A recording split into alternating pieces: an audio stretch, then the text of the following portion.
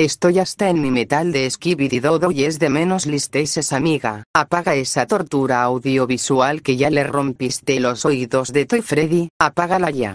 ¿Y qué me harás si no la apago?